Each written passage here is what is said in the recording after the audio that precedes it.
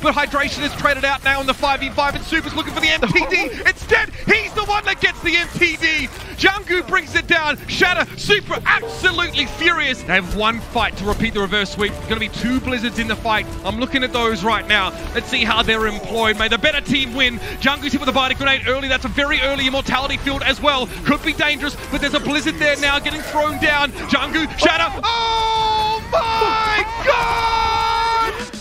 The kissing the What's going on, everybody? It's Frito here for your Overwatch. Today, we're going to break down the replay of the match of the week in the Overwatch League. The Outlaws taking the shock to six maps and ultimately beating them. This series was amazing because there was so many meta plays as well as meta mistakes that we can learn from and emphasize. The first rollout here, like many things in this game, wasn't really caught on the stream. It was hard to tell they were even doing this. But what happens is they end up flipping this rotation and utterly counter-stratting the double spam setup of the Shock. So what the Shock want them to do, playing Symmetra and Junkrat, is to walk into these Sym turrets and come right in this choke and get hit by all of the projectiles. Instead, the pathing of the Houston Outlaws goes around the entire map to then fight here, which is a bit more open, easier to duck away from the spam, and possibly most importantly, dodging these Sym turrets, and they set up hydration up on the top, which is going to be one of the most deadly places to launch your Doomfist from. Remember, this meta the main thing you have to worry about is finding ways to convert your damage into eliminations. The other option, of course, is denying the enemy's damage. That trade of who gets more value is what's going to result in an elimination in the mid fight before there are the big tank and support ults in play. So at the start here, the Shock realize that their plan is now getting completely beat just by where the Houston Outlaws rolled out on. They know the insta kill Doomfist is up top, so FD God goes up top in order to try to deal with it. Choi as well is going to respond to try to mark it, but neither of those characters really want to fight the Doomfist either. So because of that, Jjanu knows that we can swing on the Sym and the rush comes in to overwhelm the Symmetra. You see, the thing with the Sym pick is that she is the glassest of cannons. Yes, she got more health before uh, in previous buffs, but that doesn't necessarily help as much as you might think because it focus fires all you need, right? So from Taio's perspective, he needs the help of the Peel characters, D.Va and Lucio, to even stay alive at all. The boop from Lucio is going to stop the Rhine swings as well. D.Va can boop a little bit. Matrix can stop the damage. Ideally, what Tile wants is the protection around him in order to charge up to tier 3 charge but the play happens so fast that we're not even going to get to tier 2 charge before Taio is just destroyed instantly. Boom, there's the open target, go. What have we been talking about the past couple weeks in our meta breakdowns? You see the open target, you go cash it in. Reinhammer can do that, but the ebb and flow of resources should deny it from happening more times than not. So, as we'll go through this series, we'll find some of the biggest examples of those counter strats coming in, but I don't know how I rate Symmetra at all up against uh, the Doomfist double stun comp. Um, if you have the D.Va on your side, I just don't think you're going to be able to keep the Sym alive. Tile seems to agree and moves on to the McCree. But now we're going to see an interaction where it's up to the team overall, but also the McCree to win the stun trade. Look where Hydration keeps launching from. And a combination of things is happening that this shock setup is just too slow. The team that takes the initiative and finds the early tempo advantage typically is just going to win. One of the biggest tempo advantages you can get is an Earth Shatter because the ability charges so darn quick. But you see, both teams have a similar plan in mind. Put the window on the corner and then use it to deal more damage to the enemy. But look at the contingency plan here that wasn't even captured on stream. That's the cool thing to me. Super is going to get caught in the Fire Strike animation. Right at the end of it, he was just about to be able to get his shield up, but Jjanu outplays him, reading that this window Fire Strike combo is going to come through. Shatter goes through the whole team, and that's just going to win the team fight outright. But there was multiple ways that Houston, with their aggression, could have won this fight even if the shatter gets blocked and the value of both of these windows is kind of neutraled out, like equaled out from both sides, the launch from hydration could have got value. But more importantly, the sneaky McCree flake way out in the back could have also carried this fight. And he'll guarantee that the fight is confirmed. And that's the power of flanking right now in this meta. And, and, part of the reason why I think Overwatch is in such a great state is that, okay, so we get value here anyway, uh, ends up not mattering. But even if the play on the front line went poorly, this play has value because there's only so many resources to stop that frontline play that by the time this flank from Happy comes in, he will get value too. Like he's put himself in a position with the mega health pack behind him that even if the rest of his team fails their play, he should be able to get one to two kills and heal himself with the mega health pack to secure this fight which is why I think just in general, the Houston Outlaws are really seeing how to play this meta in the correct way. Now, rantering back into the fight now, we're going to try to find out if our DPS were getting set up from the Shock's point of view. Are they ever going to be able to find value? And here's the problem. When Houston plays this aggressive on the transition of as they're trying to take space, they never can. Where did Tayo ever have a shot to hit? Well, the pathing was punished here by the aggression of Houston, taking matters into their own hands. If you remember back to my uh, meta video where we broke down trying to interrupt the pathing of the retaking team, that's what's happening here. Look how sloppy this formation is. Violet and FD God think they're the aggressors. But really, the aggressive play is being set up together behind the shield, right? This is the type of formation, a thing that doesn't get talked about in Overwatch enough, but is like make or break for the Overwatch League level, but something you really can care about a lot for your own games. Are you in formation with your team? Right? The squishies are the most vulnerable to the high noon, so it's most important that they are in formation to be saved by the shield and defense matrix. But as if they were anticipating Houston to be passive, they come on this angle to try to punish from here they get caught out by the whole team already being here from the Houston Outlaws. So this high noon is going to get two kills for free. So it's a combination of the team just not being in sync and where they want to go, right? They're trying to send a DPS uh, to white to possibly see something, but at no point does Tayo even get a chance to interact with this at all. He's not going to build ult. He's not going to be able to confirm a kill. And the things that the Houston Outlaws can use to confirm kills or just easily see their target. Squishy's dead, boom, instantly in a second just by pointing it in the right direction. And then furthermore, Tayo's just going to have a, a, a, real hard time adapting to the Doomfist. And if you find yourself playing against more Doomfists now that he's been uh, featured in the league so much, I'd suggest try to get your tanks to be on one of two heroes. In ranked, I think Hog is a pretty easy answer because he kind of can solo him a bit, but also Zarya is better than D.Va in my opinion because Doom wants to go for an all-in engage, which means if you save Bubble for when that happens, well, all his cooldowns kind of get deleted. Now, you might not be able to farm energy as easily, but you will be able to kind of counter this. Kind of weird uh, why Hydration was able to live there against the stun. Did you notice that? Well, it turns out the tank line on these aggression uh, uh, pushes is the reason why. And this is why I mean you need Zarya because the aggression can be followed up by with Piggy perfectly masking the defense matrix here so that the stun gets eaten. From the offense's point of view, that's what you want, right? This tank is able to pocket their DPS, whereas the D.Va can't really do much to stop this to save Tayo to get value, right? Whereas if you bubbled him right then, you'd get charge and you would still do the same thing and be able to react. Ultimately, the cool thing about this meta is that if you have a hero that you can send on the map to go get value, they will work. And the problem with the shock setup here is that it's almost anticipating all the value to be in front of them. Choi is manipulating the front line, but is anybody marking that same position that the Doomfist was just gonna take repeatedly. It's like the whole team's shocked. Look at that point of view. Like no one is there to peel for Hydration's flank, so it just comes off for free.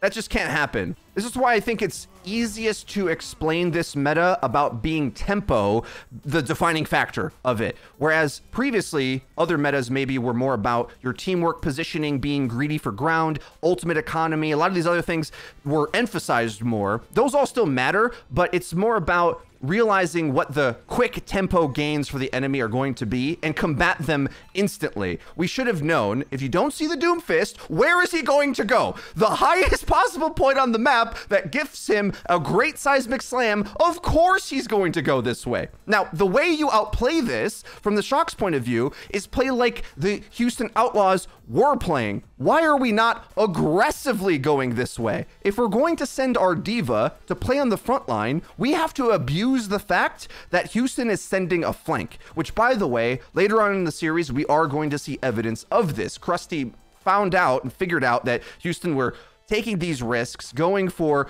greedy map positions, because that's what this should be. If you have a teammate that's off in no man's land, this should be a harder fight to win. But if the Shock don't take the initiative, they just lose. That's the benefit of it being a tempo meta. The team that plays passively and tries to react, and the enemy sets up a play on you, well, you just lose every single time. As this fight extends, we're going to see a lot of examples of both teams trying to fight for tempo by using aggressive abilities to either gain space or convert further eliminations and keep themselves in charge. That's what tempo is all about. It's like you spend something early to gain advan an advantage that you hope is going to snowball, as opposed to trying to make the highest value abilities. It's the difference between grabbing one target in order to confirm the kill quickly now, as opposed to grabbing the entire team, let's say, for the biggest possible combo. The time it takes for you to wait for those big value plays means if they go for a tempo play in this meta, and I think just Overwatch in general, moving forward to Overwatch 2, you're going to lose. Like, there's no point to wait that long to attempt for a higher value play. Now, that being said, Striker, I think, is a little bit greedy on this angle and could have played more passive on the cart, baiting them out into the open. Because, I mean, what what's Houston going to do? They Are they going to come to cart eventually? He actually didn't need to go for that, but that's fine. You can see then Nero decides, all right, my buddy's all in. We're going all in. Striker died for the cause. It's time to drop the Blizzard, despite this fight going kind of crazy. All the while, Violet's not even back yet. They're down a healer. Okay, we're getting into caster territory. And it's getting hard to keep up. So Dante picks off the High Noon, but the Blizzard is going to catch the main tank. And Wall's trying to save uh, somebody, but the tank's going to die.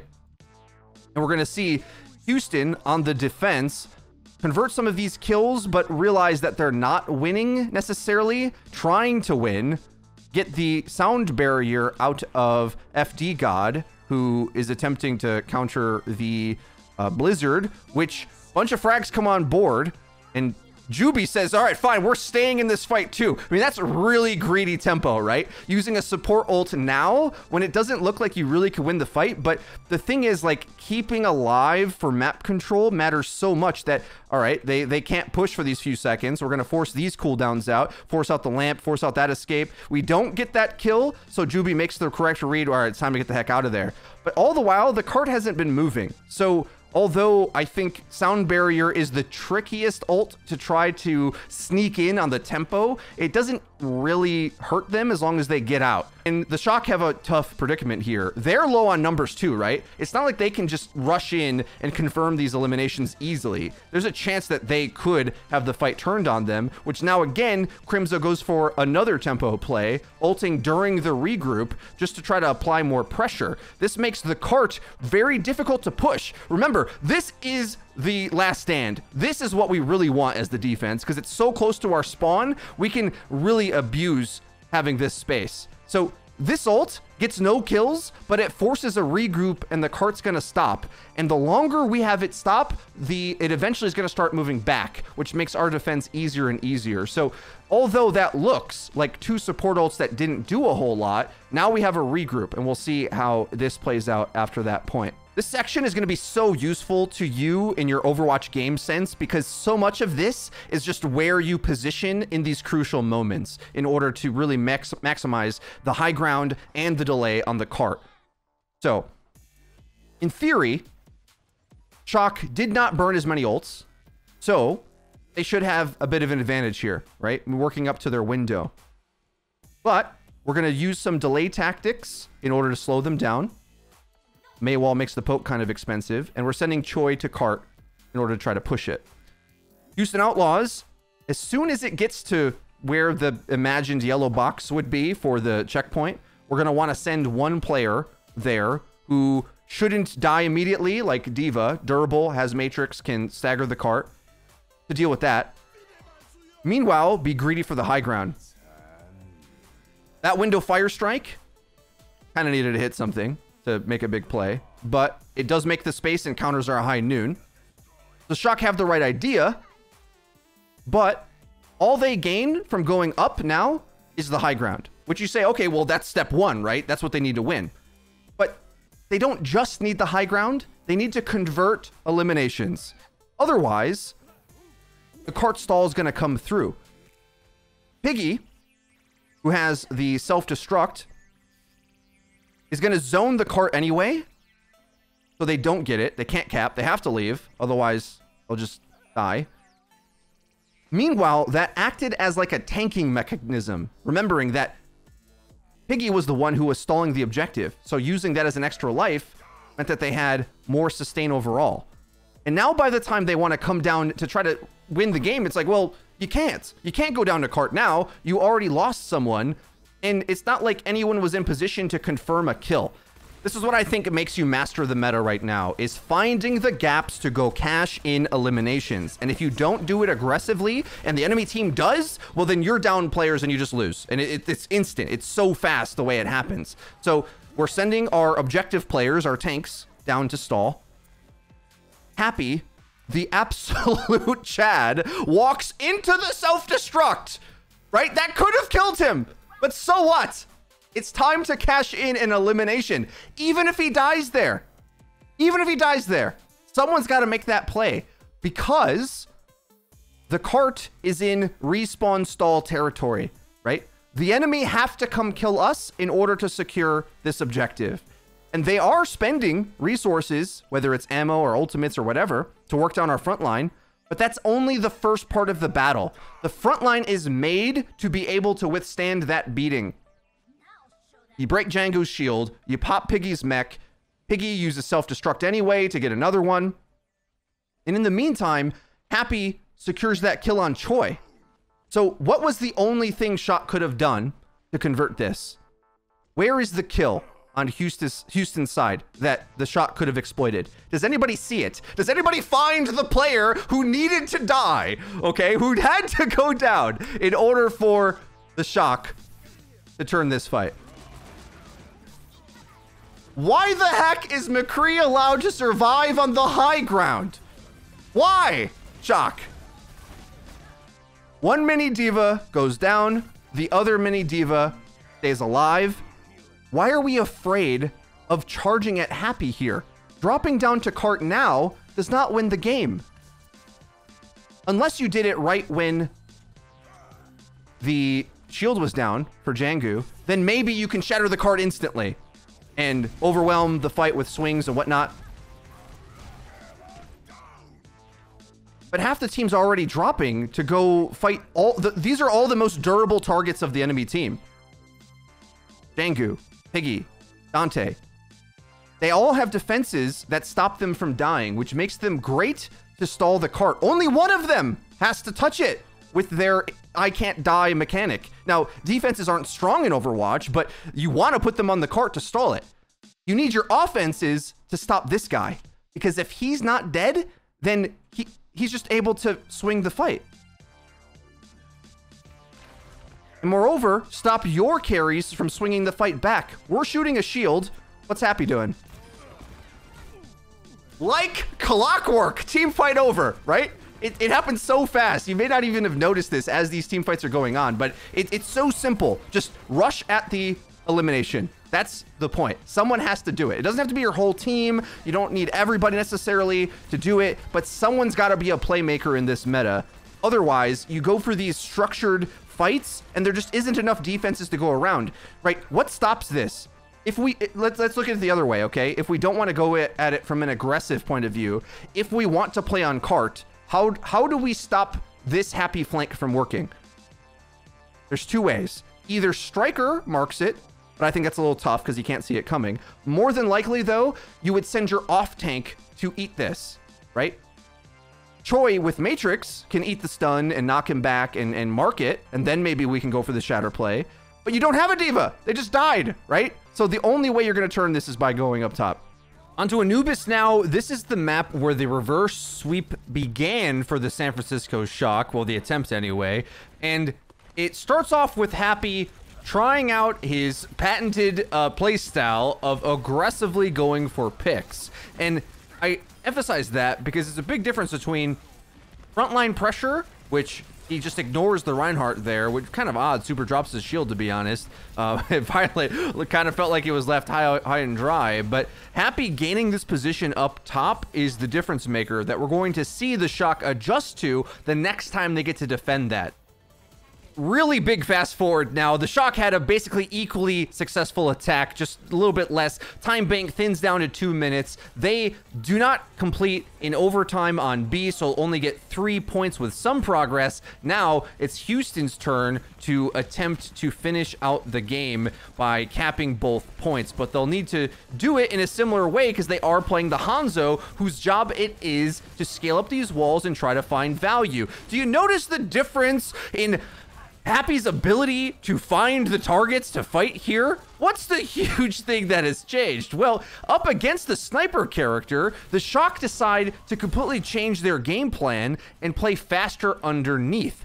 Happy can't kill your whole team by sniping if you just run at them and kill his team first. So there are some windows for Happy to hit his shots, but since he's a sniper character and not the McCree, you can abuse it by that. There's no stun on the enemy team. It's going to stop you by running in. So that's what the Shock end up doing. They start tossing in the hammer swings here with the Mei wall and force out these resources early. That lamp com comes through. I don't even know if Violet's going to need a lamp.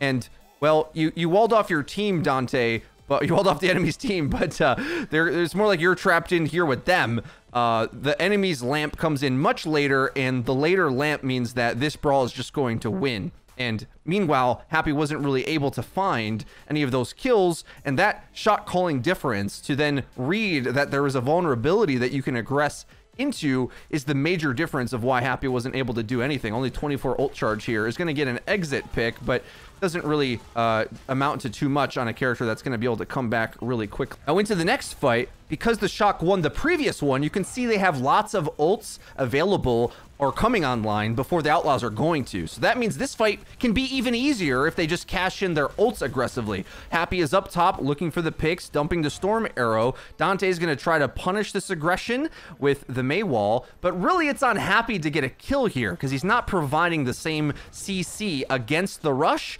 that McCree would have. The wall is somewhat successful, kind of an odd wall here, but, and I, I am going to point out the, uh, lamp usage here. Granted, may have thought that that Earth Shatter was going to land and we needed to use the lamp, but because Violet is able to knock down the wall and then put up that early amplification matrix, Crimzo, not even close to his, oh, or pretty close, but not going to get his in this fight essentially, that just means now we have the later lamp forced out by our aggression and then an ultimate. So the, automatically you just have to cede this space. Houston have to run. There's no way that they're going to have a chance to fight this. Almost getting their own window now this is going to be the difference that they can leverage. Though, Shock is also then going to come up with a bunch of ults they can respond with. Nero, counterplay on the window again. This is the major way you're going to stop this from catching your team out. It's like uh, the Mei wall is essentially another Rhine shield, right? This just counters that surprise factor. And they're not really able to get the kills out of this window that you would have liked because you've got Nero and Super playing Hodor, holding the door down. Dante does shoot through it to get Violet, but this is going to be a much more expensive fight for the Outlaws than they want. FD God pops the sound barrier.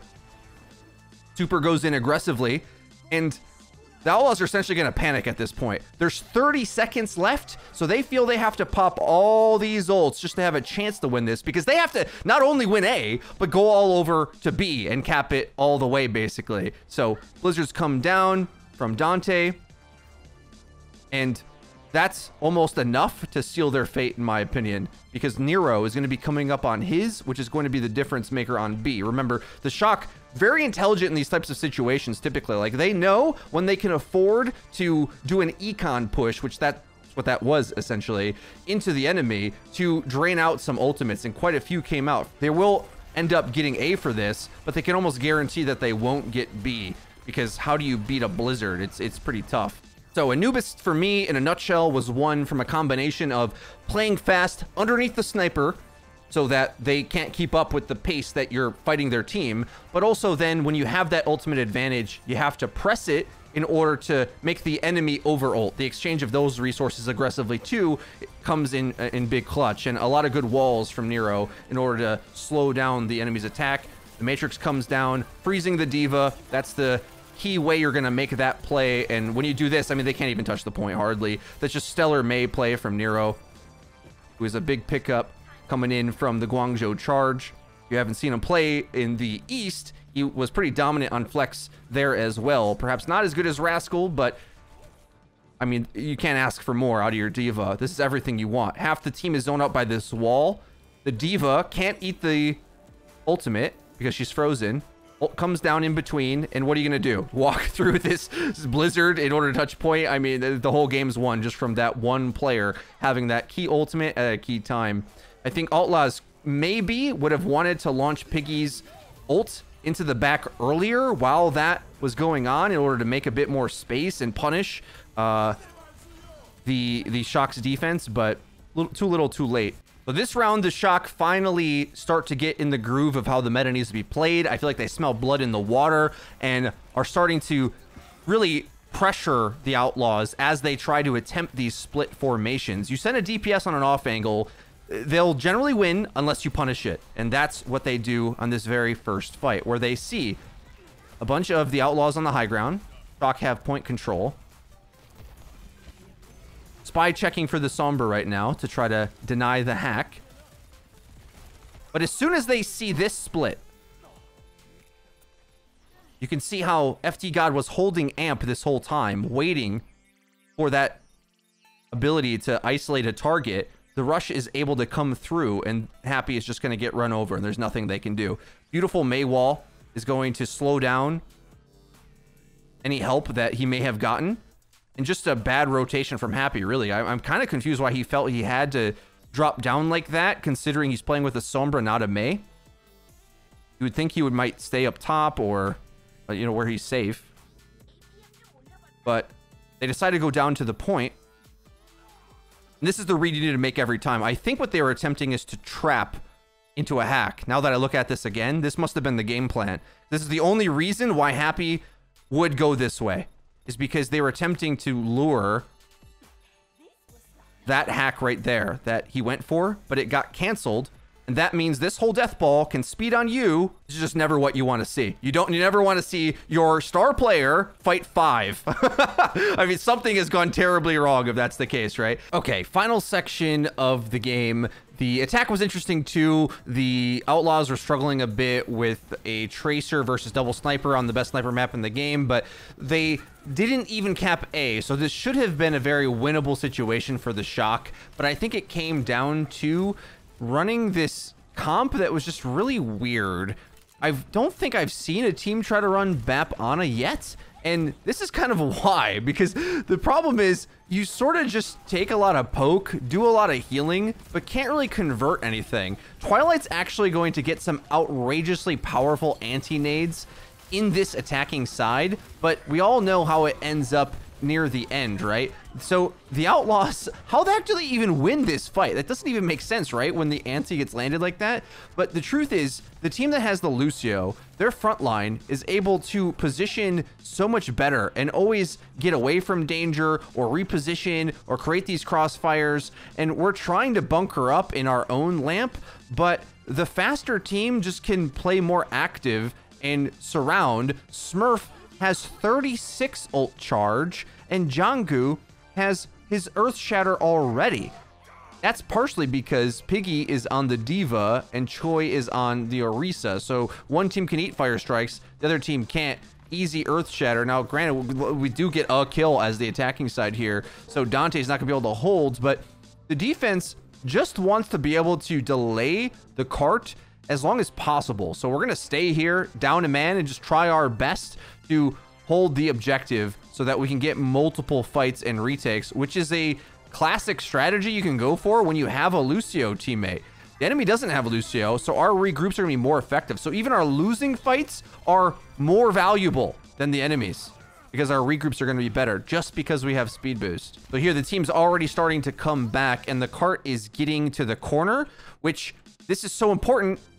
Isn't this basically where you would have defended anyway? That's why taking that free fight there and speeding back is so worth it because the cart gets to the corner with a minute and a half drained off. Not to mention the Outlaws have got ults to work with, which means their trading and everything is going to be so much better. So just such a much more powerful way to play the map, in my opinion. Looking at this from the other perspective, it's a little bit heartbreaking as the Mei and uh, Ana attempt to set up a little trap here. Somebody wakes up that Lucio, which should have been probably the entire map, to be honest, as soon as you get that. Because if the Lucio was dead, they wouldn't be able to get this sound barrier off, which stalls the cart more, and we're just touching the payload.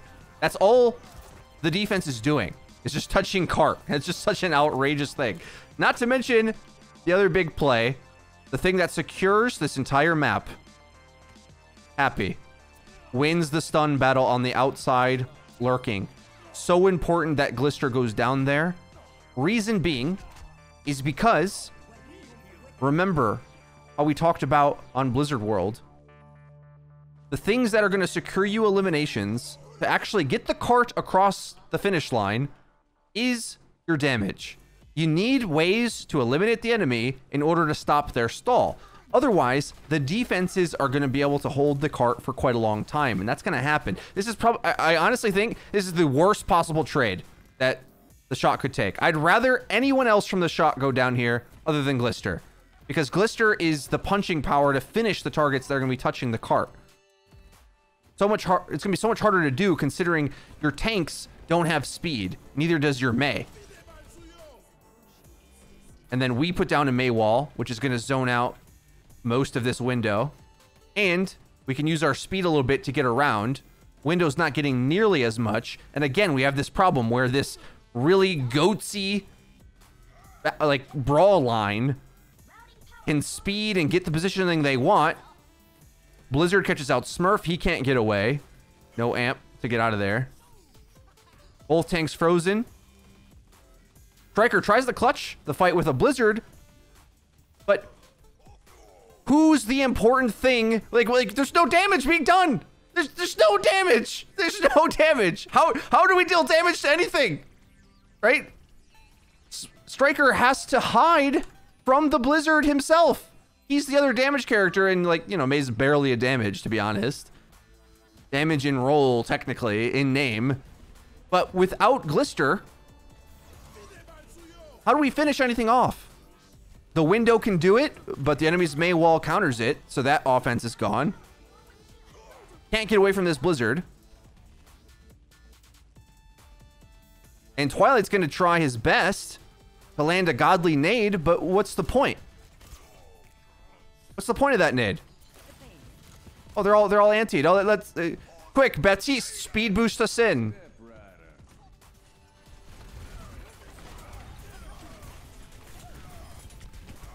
In the mix of this, Jjanu gets a kill. Which is kind of the difference maker as well. After all of that craziness, maybe we still would have been able to win it on the attacking side. Oh, Jjanu blocks the shatter and fire strikes Violet. Are you kidding me? What a madman. Oh, that's insane. Piggy holding on to self-destruct again just to stall the objective. And and that's all she wrote, right? Like parrying back, defending. The team that can play defense with defending characters, that's what you want alive, right? If you're on attack, you need offense to finish the enemy. If you're on defense, then you can get by with your McCree and spawn because really you you can hold out until that respawn comes back. So these delay tactics with speed and the, the brawly rush characters surviving on cart, again, stalls out the objective down to a minute. I mean, this is stuff Shock should know. They won the league during GOATS meta. You think they'd be able to understand these principles. Uh, they definitely do, but speed boost onto Happy. Catches out Choi's mech. One amp on the high noon. One amp uh, missing on the enemy. Means a major positional advantage. And here again, Jjanu makes what I think is like secretly low key the play that won the map. Because as soon as I saw this snipe hit the back, I'm like, oh my god, they don't have speed. There's no way that they're going to effectively get a good fight again. The game's over. Because the enemy having Blizzard and you having Blizzard, and you have speed and they don't, unless you eat the enemy's Blizzard, how are you going to confirm the kills on the cart? What are you going to do? So you have to wait all this time to get the last few seconds. And again, we're going to have a Blizzard trade. But when one team has speed and the other doesn't, one Blizzard is more effective than the other. Big Anti on Jjanu. Striker going aggressive. Danteh on top of the Mei wall. This is such a devastating wall. Half the team can't see anything. So the wall and the and the little bit of Lucio support and the lamp saves Jjanu with a nick of health. All of their cooldowns were blown to finish this guy. But instead, he makes the read in the chaos, getting to the side of the fight. In the blizzard, through the fire and the flames, through the frost and the snow and the sleet and the rain and all the other elements. Finds the shatter in the back. Piggy finally launches that aggressive D.Va bomb I've been uh, saying he should just do uh, in these hectic fights, especially when there's, again, uh, how many times I gotta say it. Being able to move out of the way of a lot of these insta-kill abilities, it's pretty good. So that's all she wrote. That's the end of this absolutely epic Houston Outlaws match. Let me know your thoughts in the breakdown. If you enjoyed the video, please be sure to leave it with a like. It really does help us out lets us know that you're enjoying the content. If you haven't already, hit subscribe and be sure to hit the bell icon so you actually get notified when our videos go live directly to your cell phone. Find out when our videos are going out. Linked in the description is our Twitter where you can say hi to us, talk about the Overwatch League, check out how bad my uh, calls are on the team's power rankings and whatnot. That's been it for me. I've been Frito for your Overwatch. We'll see you guys next time.